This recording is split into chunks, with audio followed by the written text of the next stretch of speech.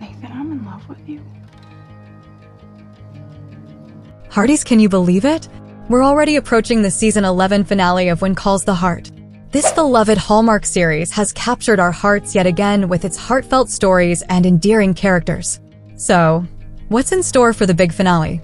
Let's dive into the spoilers for season 11, episode 12, Anything for Love.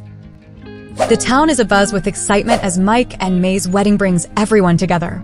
But could something unexpected happen during the ceremony? Hey Hearties! The season 11 finale of When Calls the Heart is almost here, and we've got some juicy spoilers to share. Will Mike and Mei's wedding go off without a hitch? And what intimate secrets will Elizabeth and Nathan reveal? Mike and Mei have had a whirlwind romance, but not everyone is convinced their rushed engagement will lead to a smooth wedding. Mei has struggled with trust issues since her ex, Jeffrey, hurt her deeply. Will these past wounds resurface, or will their love conquer all? While Mei's engagement to Mike seemed sudden, it's clear they share a deep connection. But with Mei's brother returning from the military, will he approve of their quick wedding? This could be the obstacle that disrupts their special day. And what about Elizabeth and Nathan? Fans have been eagerly waiting for these two to take the next step in their relationship. Although they haven't set an official date yet, their bond has grown stronger this season. Elizabeth and Nathan have supported each other through personal and family crises. In the finale, they share intimate secrets during a romantic picnic. What could these secrets be, and will they bring them closer together?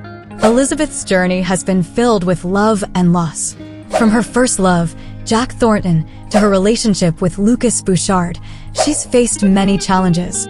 Will her relationship with Nathan finally give her the happy ending she deserves? Another exciting development in the finale involves Rosemary and Lee pitching a new idea to Lucas to improve Hope Valley. What could this plan be, and how will it impact the town? Lucas has big ideas for Hope Valley.